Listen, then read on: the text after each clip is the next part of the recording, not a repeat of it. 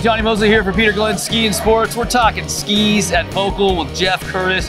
Having a great time. I love this stuff. Now, Jeff, this Volkl, which is very sexy looking ski, is called the Deacon Low Ride. And low rider or low ride? Low ride. Low yeah. ride. Now, low ride refers to the binding system. Exactly. So I didn't even know this was something I needed. Uh, Right. But after I skied it, I was like, dude, this ski is awesome. And I t- tell me what being lower on the ski uh, does for you. Uh, it gives you a little better feel, Uh-huh. a little better sensitivity to the snow because you're closer to the snow. You get a more, little more direct connection to the snow. Yeah. And it also makes the ski, the binding drive the ski a little quicker from edge to edge. Interesting. Well, it's, it's it's so messed up because you know. For so long, we were going like to these risers and getting higher up on the ski and higher up on the ski. And I remember, um, you know, back in the day when I was, you know, trying to get the companies to give me a, a binding without a plate. Right. There was a while there you couldn't even get a binding without a plate. And for like a freestyler, it sucks because it's you don't I don't need I'm not getting some high edge Yeah, not angle gonna boot out. and I'm Yeah. not gonna boot out and I don't need the extra weight and I don't care if the ski has like perfect flex even underfoot because I'm not on an icy race Right. course. Um, but now and, and we always wanted to be lower and lighter anyway on a ski, but now I didn't realize it was something that you know people who carve would think about as Yeah. well. Well, part of reducing the the height of that interface um, does give you a lighter weight overall. Oh, that's binding. nice. So that's Bonus. giving you lighter weight too. So that is a bonus. And um, So tell me how you do it though, because I, I noticed. I remember looking down the ski. It's got like an interesting spot right around there. Yeah, that's where the actual ski is built in and, and creates the binding interface with the construction of the ski.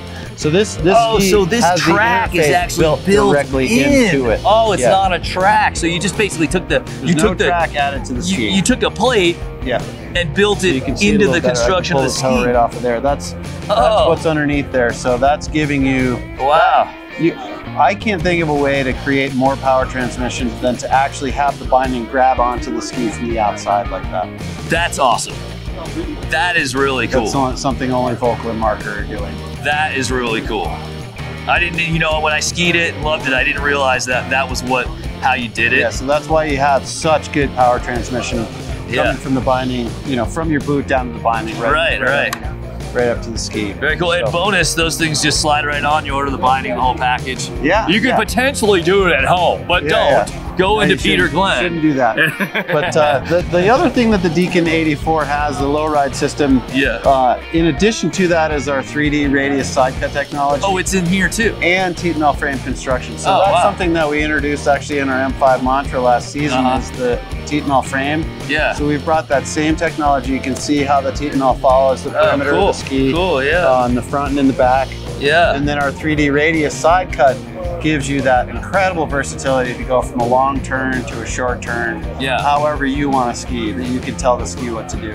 Okay, so the 3D radius side cut, we, we'll touch on it a little bit more here, but we went into depth on the Kendo, which is a different review, so go check that out. But essentially, um, it's uh, the side cut under your foot from this section of the ski is going to be a little tighter, so a little more of a what do you, what's in this one? 716. It's, uh, it's giving you that quicker turn shape. Okay, Yeah. quicker turn shape, so you can get it going. But then when you want to let it run, essentially, just so you know what side cut's all about, if you have a ton of side cut, like imagine taking a, a, a shaped slalom ski and going really fast down a run, it wants to keep turning on you. You can't just like let it glide. Like that's Yeah. why downhill boards are really long and straight because you want to let them let it glide. You don't want that thing hooking up.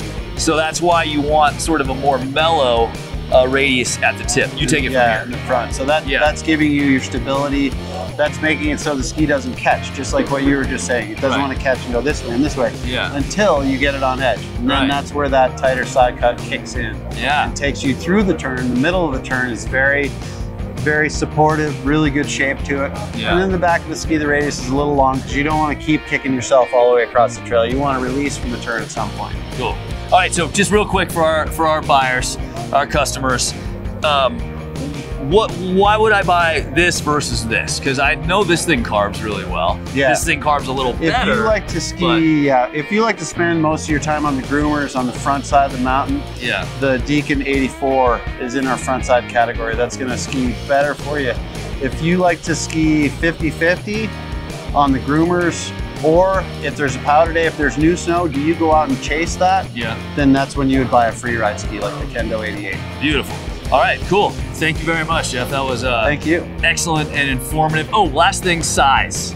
What size? Yeah. Wh- where do you We want it? Just for- nose to. For expert skiers, about head height. Like this ski would be the right size for me right here. okay, cool. And that's a 177. Okay, yeah. So- So, probably about as you drop down, I, I always tell people anywhere that's in your in your face is a good place to start with ski sizing. Perfect. Remember that. If it's in your face, it's right. All right. Thank you, Jeff. Jonny Moseley for Peter Glenn Ski and Sports. Have a great run.